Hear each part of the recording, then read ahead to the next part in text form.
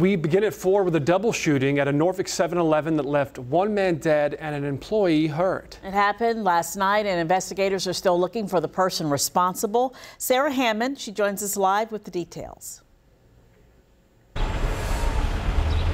Well, the store here has since reopened since that shooting last night on 26th Street off of Hampton Boulevard. And Norfolk police say someone shot a 22-year-old store employee around 1140 last night. Investigators also say his injuries are considered not life-threatening. First responders say they found a second man seriously injured outside of the store. They took him to the hospital where he did die. Police have identified him as 25-year-old Walter Painter, and police have not released any suspect information at this time, but of course we will let you know as we get more information. Live in Norfolk, Sarah Hammond, 13 News Now.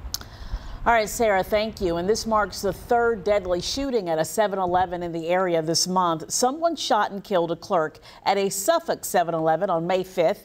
On May 6th, two men died after a fight led to a shooting outside a Hampton 7-Eleven.